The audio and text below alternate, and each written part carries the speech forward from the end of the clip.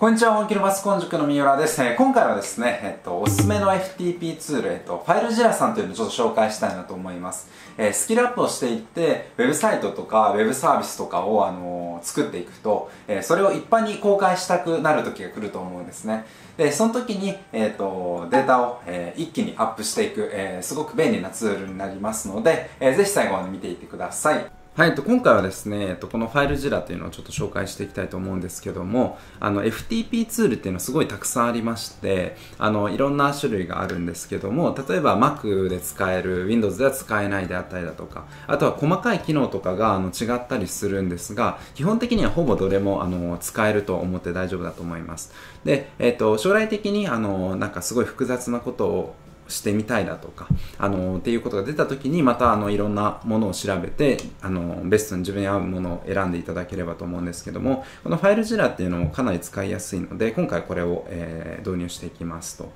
で、このえダウンロードのページ共有、あの、リンク貼っておくので、これでアクセスしていただくと、この公式サイトに飛びまして、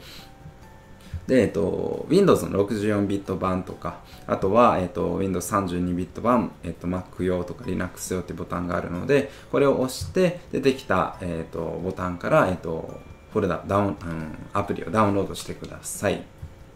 で、えー、ダウンロードするとおそらくデスクトップにアイコンができるかもしれないんですけども、えっ、ー、と、普通に検索していただくと、こういった感じのアプリが見つかりますので、それをクリックすると、こういう風に画面が立ち上がります。はい。で、えっと、今回のこの、えっと、FTP ツールっていうのは、えっと、レンタルサーバーへの接に接続するためのツールになります。で自分のそのパソコン内で、あのウェブサイトとかプログラミングとかしてるときはすぐにコードとか書き換えたらそれが、えっと、プレビュー画面とか出ると思うんですけども、えー、今後、まあ、レンタルサーバーを借りてそういった、えっと、サイトとか公開していくときに、えー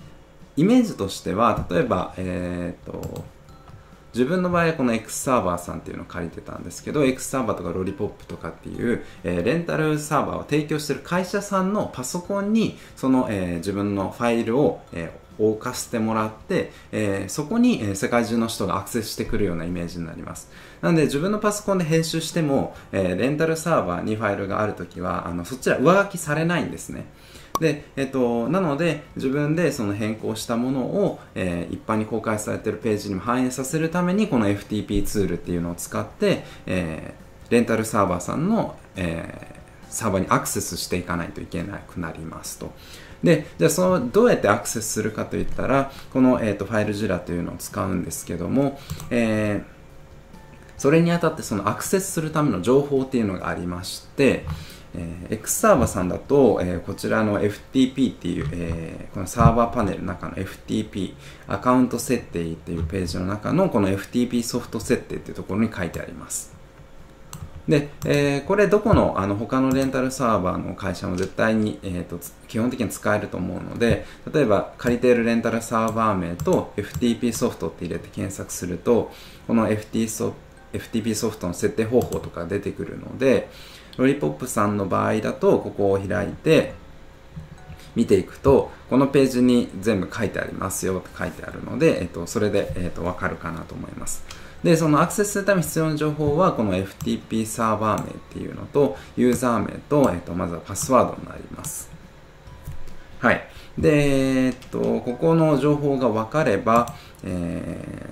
このファイルジュラっていうのをもう一度立ち上げていただいてここですね、えー、サイトマネージャーを開きますというところをクリックしていただくと、こんなサイトマネージャーという画面が立ち上がるので、最初多分何も入ってないと思うので、新しいサイトをクリックして、えー、ここを自分のサーバー名、あの、ここは何でも大丈夫なので入れて、えー、見てください。で、その後ここに情報を追加していきます。で、今回はもう先に作っちゃったんで、ちょっとこれを見ていただければと思うんですけども、えー、ここまずプロトコルっていうのを FTP っていうのを選んで、えー、ホストっていうのを、えー、ここのサーバー名っていうものですね。で、ユーザー名を、えー、ユーザーのところ。で、パスワードを、え、ー、と、入れて、あの、ここのパスワードっていうものを入れてください。このパスワードは会社によってちょっと違うと思いますので、えー、各設定のページを見て、えー、それを入れてください。X サーバーさんは、えー、この X サーバーのサイトへのログインパスワードと一緒って書いてありますね。はい。で、これで、えっ、と、接続すると、え、警告出るんですけど、OK してもらって、するとこのように右側にリモートサイトっていうのが出てきて、あの、いろいろデータが見れるようになりますと。で、えー、と左側が、えー、と自分のパソコンの画面になりまして、えー、例えばデスクトップを開けばデスクトップにある、えー、とファイルが出てきます。で右側がその借りてるレンタルサーバー内の、えー、とフォルダーになってましてこの中で、えー、と自分がアップロードしたい、えー、とフォルダーを見つけまして、えー、とそこを開いてあげてください。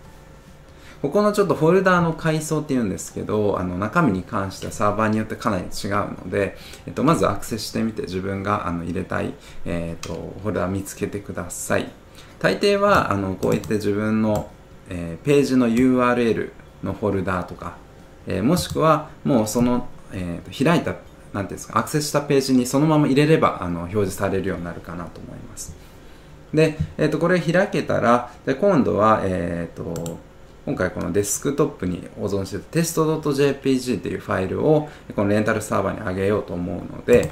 これをここからですねこっち右に持ってきてあげてください。で OK を押すと、えー、これで、えーと、下にこっちにも出てきましたね。アップ完成です。めちゃめちゃ簡単ですよね。で、えーと、実際に、えー、ちょっとあの自分書いてる、えーと URL の後に、えー、と今入れた画像名を入れて検索するとこのように、えー、と出てきますと。はい。で、え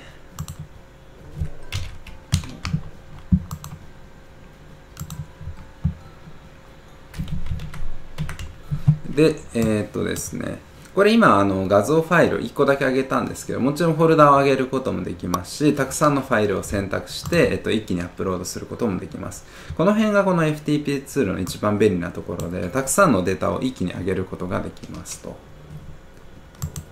はいえっ、とまあ使い方としてはそんな感じになります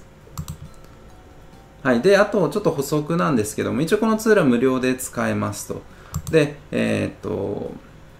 まあ、基本的にはあのシンプルなレンタルサーバーだったら今お話したこの FTP っていうのでいいんですけども例えばセキュリティに気を使ってる時とかあとはなんかがあの外注さんとか他の会社さんから、えーと、SFTP っていうセキュリティの高いものにアクセスしてくれみたいなことで言われた場合はここで、えーと、モードを切り替えることもできます。で、えっと、SFTP で、えっと、接続したりだとか、あとは鍵ファイルって呼ばれるような、なんか .pem って呼ばれ、あの、のファイルとかをもらうことがあるので、その時はこちらの、えー、設定で、えー、鍵ファイルを選んで接続すると接続できます。ちょっとこれは補足なんで普通はいらないかなと思います。はい、といかがだったでしょうかまあ、これはどんな、えっ、ー、と、レンタルサーバーのものでも大体は接続して使うことができますので、えー、ぜひ、あのちょっと見ていただいてそれをあの使っていただくとすごくあの便利にファイルをアップできるんじゃないかなと思います。はい、と今回の動画はこれで以上となります、えー、最後までご視聴ありがとうございました。また次回の動画でお会いしましょう。